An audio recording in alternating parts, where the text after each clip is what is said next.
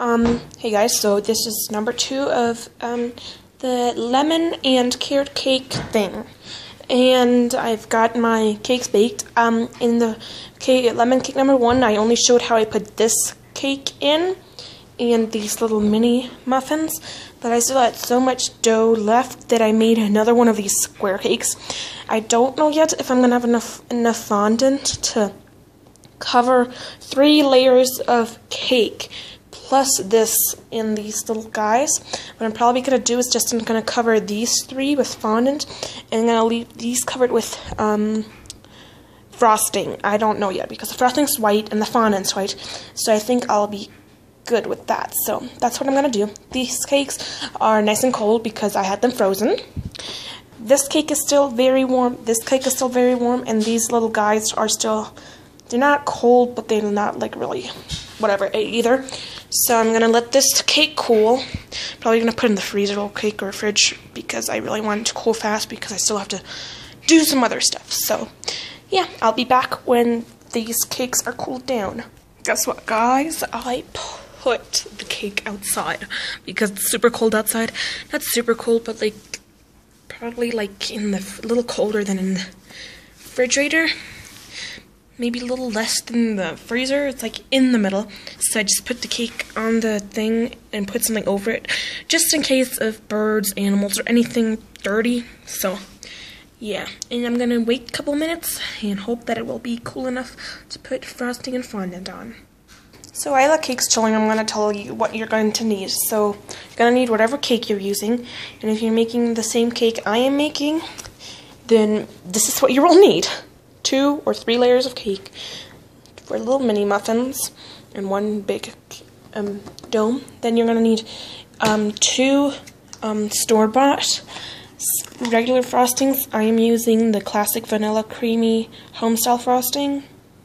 Um, if you don't want to use the store-bought one, you can make your own. Um, you can like search. You can search online how to make your own frosting. I would prefer to make a little firm frosting so it will hold everything together.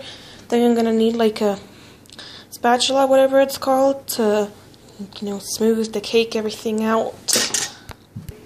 If you don't have one of these, which are like super cheap to buy in the store, a couple of dollars. Um, then you can just use either a regular knife and use um, this side and do that, or you can use a spatula, a regular one. Yeah, I don't even know why I have this out, I think, to lift up my cakes. so yeah. And then for the fondant, I just got this white decorating fondant. I chose white because the Taj Mahal is white slash like cream colored. So, um, yeah, and this is what it comes with instructions and the fondant. So, I've worked with fondant only one time in my life, and that was a total fail. So I'm really hoping this will turn out. The fail was I tried to make a Captain American cake, Captain America cake for, um, I don't know, I don't know what I did. Um, and it totally didn't turn out. I followed the instructions of um, Yummy Nummies, and it didn't work, so yeah, I'm kind of scared of using that fondant over there. Okay, so I put my cakes in the freezer because they were not really um, cooling down as quick as I wanted to. I have a picture of the Taj Mahal, and I'm going to try to do as much as detail as I can. Um, then what you're also going to need, um, if you want to have like a, because the frost, the, the icing is going to be white, so so you want to have like a little different color for designing, because otherwise it's going to look weird. So I'm going to have some yellow food coloring just to make the white um, icing a little like creamier color, so you can do all the designs. And then I have piping bags, but if you but uh, like it's a big one, and I'm only going to be using a small amount of frosting or icing to decorate. Um, so I'm just got this little tiny plastic bag where I'm to put it in, and a clip to secure it at the top, and a toothpick just to get like really good details in there if I have to. Okay, so I got the cakes out of the freezer. Um, they're still slightly warm, but I think the frosting in front and going to be fine with it. So I'm to do carrot cake, lemon cake, carrot cake, lemon cake, lemon, lemon, lemon, lemon.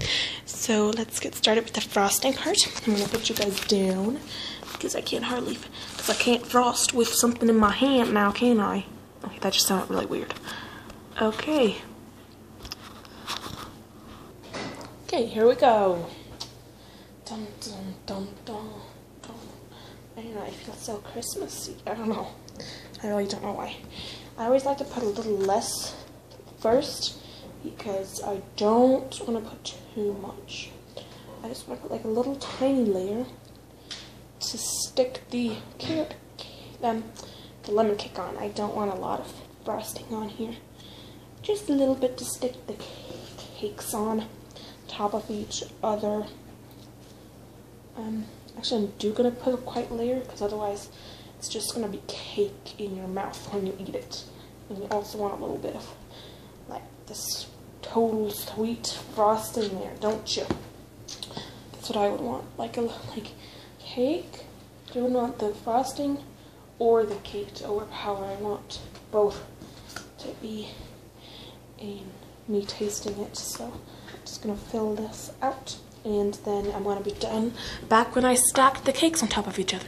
Okay guys, so I'm done layering and sort of crumb coating my cake with frosting. Um, this is gonna go on the fridge for five to ten minutes so the frosting is not super sticky. Then I'm gonna put the fondant on and then I'm gonna have to make a third part because I used this all up and I still need some for decorating and for filling out like the little tiny spots that I couldn't finish or missed. So, um, yeah, check out the third part too when we're, oh, look at that. That was a bad thing.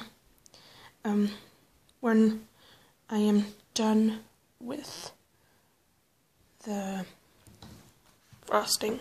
I mean with the fondant. So I'll be back when the fondant's on. So I'm rolling out the fondant right now. Um, it's really hard because I don't have a roller, so I'm just using this bottle.